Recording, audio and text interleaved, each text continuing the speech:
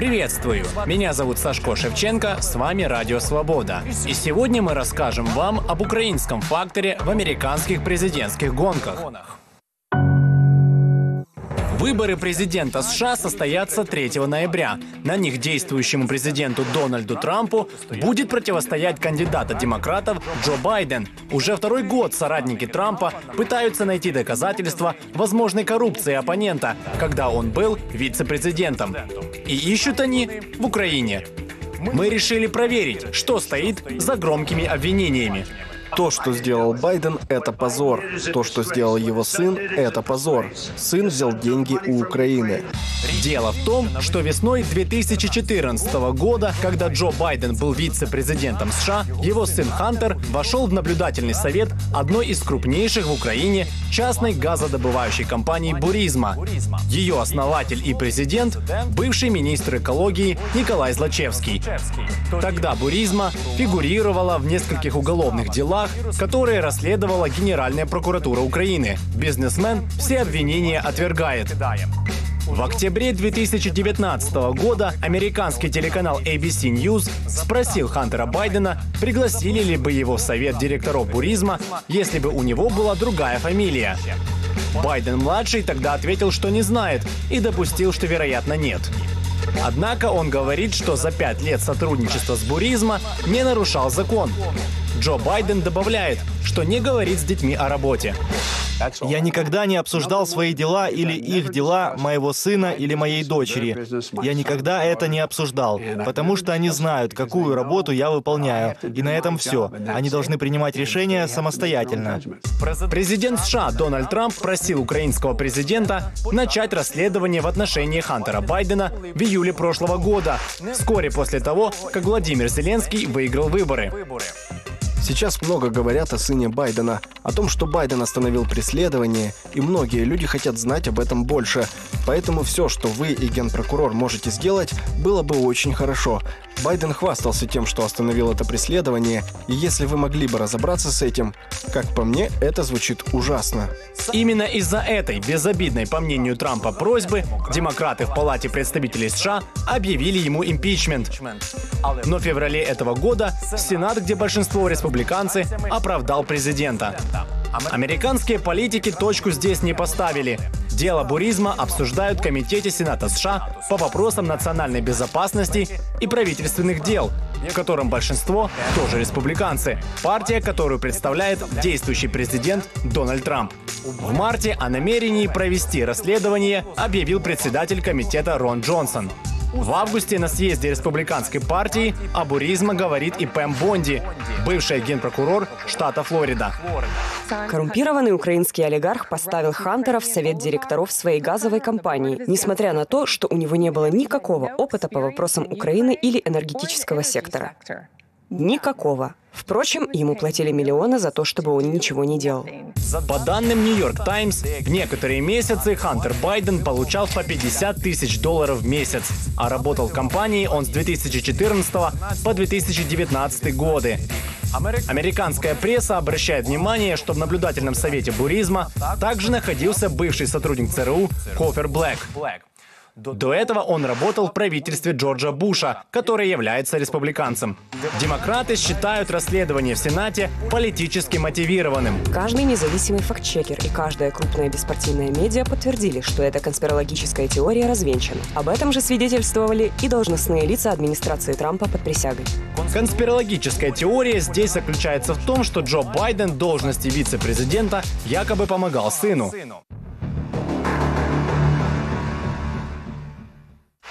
Сенатор Рон Джонсон в конце сентября таки опубликовал промежуточный отчет о расследовании. Однако в нем не содержится новых сведений о вероятной коррупции Джо Байдена.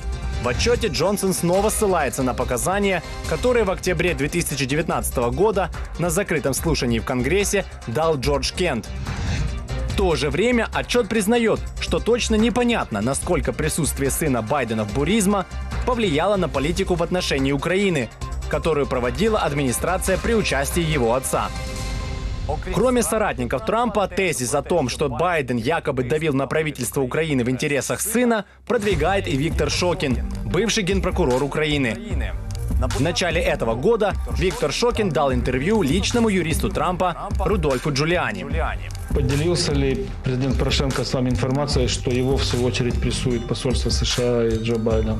Нет, да, Джо Байден. Посольство я не знаю, а Джо Байден точно. Радио «Свобода» обратилась в штаб Джо Байдена за комментарием относительно обвинений Шокина. На момент выхода этого материала ответ мы не получили. В интервью «Радио Свобода» бывший генпрокурор говорит, что тогда следователи хотели допросить членов Совета директоров энергетической компании «Буризма». Среди них был и сын американского политика. Сначала было все очень хорошо. Я написал письмо по коррупции господину Керри, тогдашнему госсекретарю США. Получил ответ за подписью госпожи Нуланд, что они поддерживают, да, все помогают. И мы уже выходили на необходимость допросов господина Хантера Байдена, Квасневского, других. Виктор Шокин не ответил на уточняющий вопрос «Радио Свобода», что именно прокуроры планировали спросить у Хантера Байдена. Это вопрос к следователю, сказал он. Расследовать деятельность буризмы ГПУ начала еще во время предшественника Виктора Шокина, генпрокурора Виталия Еремы.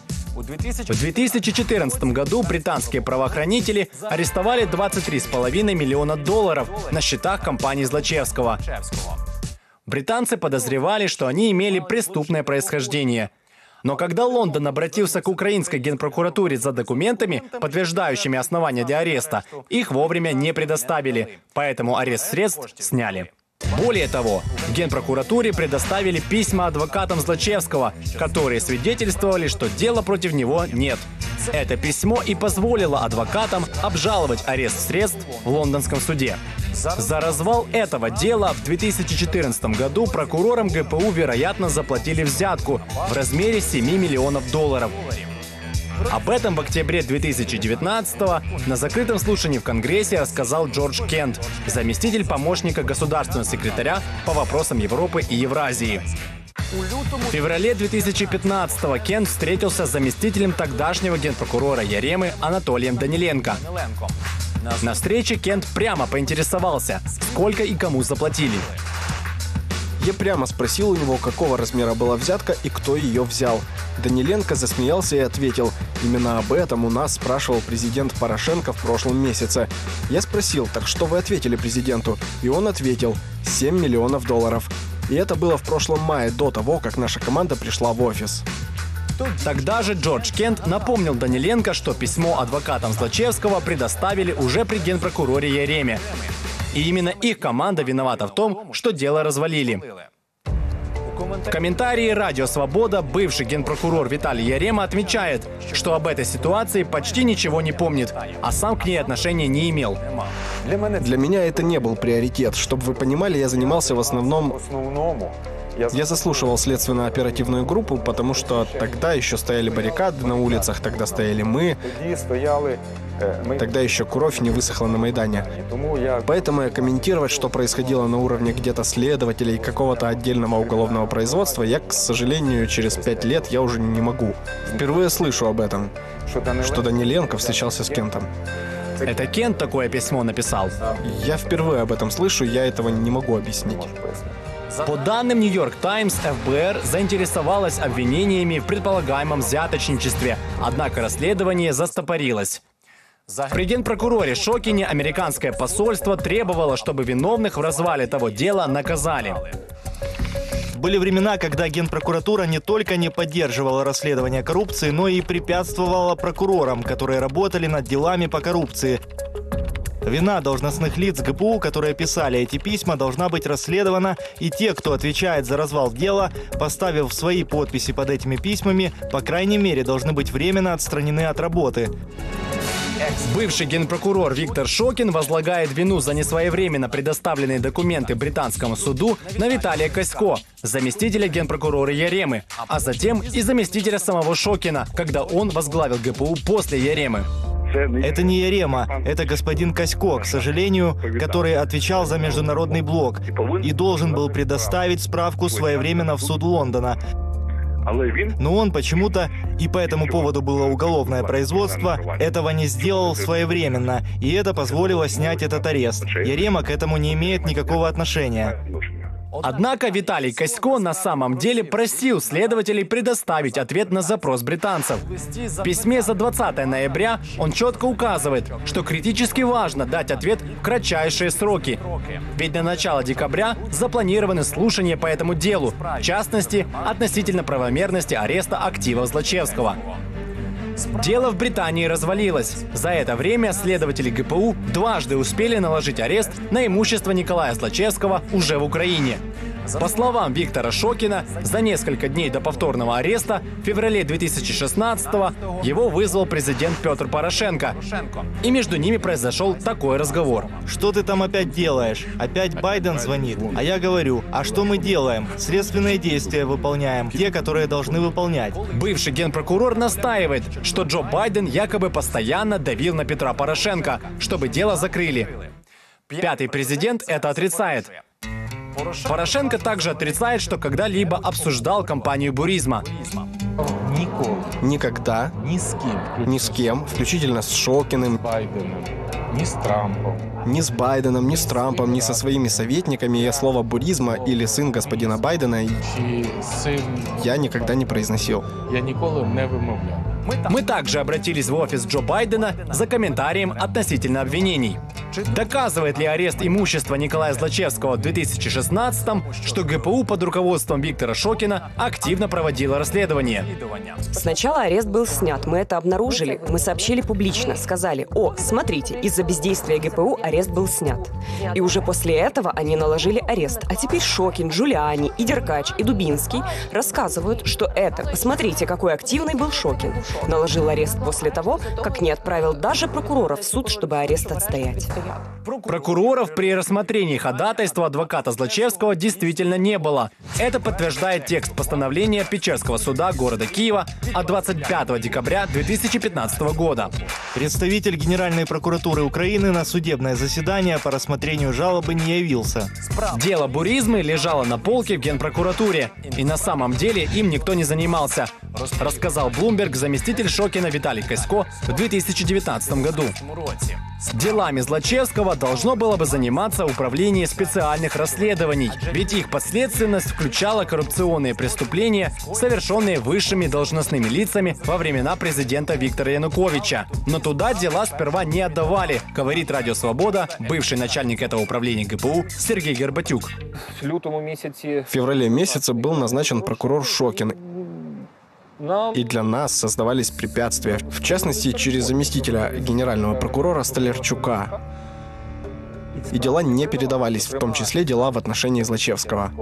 Управление Сергея Горбатюка получило дело, в котором Злачевский был подозреваемым в 2016 году, когда генеральным прокурором стал Юрий Луценко. По его словам, те материалы свидетельствовали, что при Шокине дело активно не расследовали. Если бы оно активно расследовалось, то фактически оставался бы только розыск Злачевского, потому что там было подозрение и розыск. Мне докладывали, подтверждая это материалами, там еще нужно очень много проведения следственных действий. Если слушать Шокина, который рассказывает о том, что просто суперактивно расследовалось это дело, то в этом деле все эти следственные действия уже должны были быть проведены. Горбатюк говорит, что при генпрокуроре Луценко дела по буризме из его управления снова забрали. Позже Луценко сообщил, что ГПУ закрыло все дела, в которых фигурировала буризма. В частности, дело об уклонении от налогов, поскольку компания уплатила налоги вместе со штрафными санкциями, а некоторые дела передали в НАБУ. В 2019 году генпрокурором стал Руслан Рябошапка. Именно его в разговоре с Трампом Владимир Зеленский назвал на 100% своим человеком. Уже после того, как Рябошапку уволили в начале 2020 года, он в комментарии изданию Reuters сказал, что во время проверки тысяч материалов дел не обнаружили никаких доказательств нарушений со стороны Хантера Байдена. Я специально просил прокуроров особо внимательно проверить факты на возможное вмешательство Байдена. Они ответили, что ничего подобного не было. Виктор Шокин говорит Радио Свобода, что у его команды не было достаточно времени на расследование, но признает то же самое. Мы не говорили, что он виноват в чем-то. Никто, ни я, никогда этого не говорил. Никто другой. Мы шли по обстоятельствам. Мы проясняли обстоятельства, выясняли допросами, другими следственными действиями. И никто не сказал, что он уже виноват. Радио «Свобода» обратилась с запросом в офис генпрокурора, чтобы выяснить, расследуются ли дела сейчас. Оттуда ответили, что дела, в которых Николаю Злачевскому объявили подозрения, не касаются деятельности компании «Буризма». В антикоррупционном бюро «Радио Свобода» ответили, что информация о ходе расследования дел, в которых фигурирует компания «Буризма» или Николай Злачевский, относится к информации с ограниченным доступом. Эта история не только о бизнесе или политике, а и о том, как американские правительственные чиновники ведут дела с украинскими коллегами. Джо Байден не скрывает, что был недоволен, как тогдашнее правительство Украины боролось с коррупцией. В Киеве он выдвинул президенту Порошенко и премьеру Яценюку условия. Или уходит Шокин, или Украина не получит миллиард долларов финансовой помощи. Я сказал, что еду через 6 часов. Если генпрокурора не уволят до тех пор, то вы не получите денег. Сукин сын. Его уволили. Требования Джо Байдена Виктор Шокин считает признаками внешнего управления Украиной. Такого же мнения и внефракционный депутат Андрей Деркач. В этом году он обнародовал аудиозаписи якобы разговора Петра Порошенко и Джо Байдена. По словам Деркача, эти разговоры демонстрируют, что страной во времена президентства Порошенко руководил Джо Байден.